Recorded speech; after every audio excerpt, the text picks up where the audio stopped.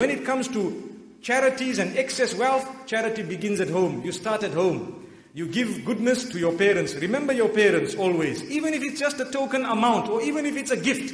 You live far from your parents, take a small gift. Mom, I've brought this for you. My dad, I've brought this for you. Subhanallah, it is the thought that counts. That's what it is. And I think let us try and liven this up, even if it is a little pen. Even if it is a little gift, a small thing that they love, they like, something minor. You say, look, I brought this for you. Subhanallah. We ask Allah to make us conscious of our own parents because before we know, they will be gone. In fact, even after they are gone, we can forward charities on their behalf. We can give charities and say, Ya Allah, this is for your sake, but I'd like the reward to go to my deceased parents. May Allah subhanahu wa ta'ala grant us all goodness, inshallah. In such a manner that when we grow old, our children can do the same for us. Allah subhanahu wa ta'ala speaks about spending on your own spouse and spending on your family members and spending in any good cause. Allah says everyone should spend according to their capacity.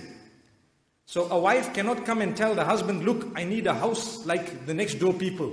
Because she needs to consider the pocket of her husband. And if there's more than one wife for the same husband, she needs to consider the fact that this man has two or three wives. May Allah subhanahu wa ta'ala protect us and may He grant us a deep understanding. So, whatever you have, spend from it. Do not be miserly. There are some people, may Allah protect us, who have a lot, but they cannot spend in the house. They are stingy, they hold, they keep it to themselves. And Allah subhanahu wa ta'ala warns us, ويل لكل همزة لمزة الذي جمع مالا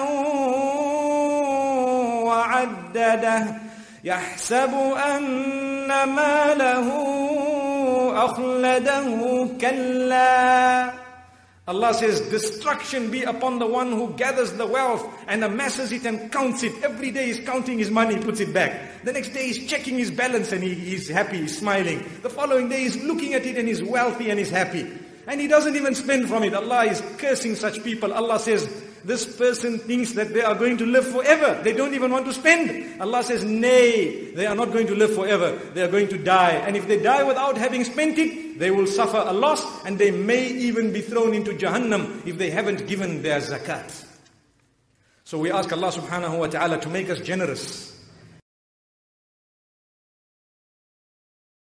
One very vivid description, and there are many of them in the Quran, where Allah subhanahu wa ta'ala tells us what exactly happens to the wealth when you give it. Allah says, وَمَا آتَيْتُم مِّن زَكَاةٍ تُرِيدُونَ وَجْهَ اللَّهِ فَأُولَٰئِكَ هُمُ الْمُضْعِفُونَ Allah subhanahu wa ta'ala says, when you give out zakat, intending the pleasure of Allah subhanahu wa ta'ala, then that is what he, he multiplies.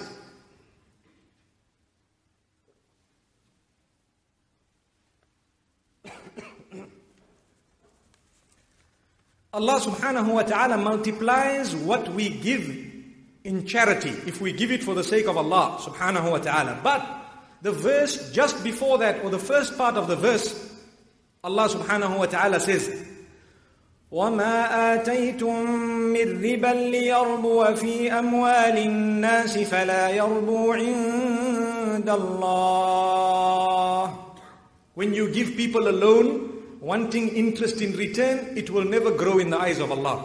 It is haram. But when you give Allah a loan, Allah calls it a loan. إن تقرضوا الله قرضا حسنا يضاعفه لكم وَيَغْفِرْ لَكُمْ Allah says, when you give Allah subhanahu wa ta'ala alone, He will multiply it for you, not only 100%, even beyond to 700%. And Allah says, over and above that, He will forgive you.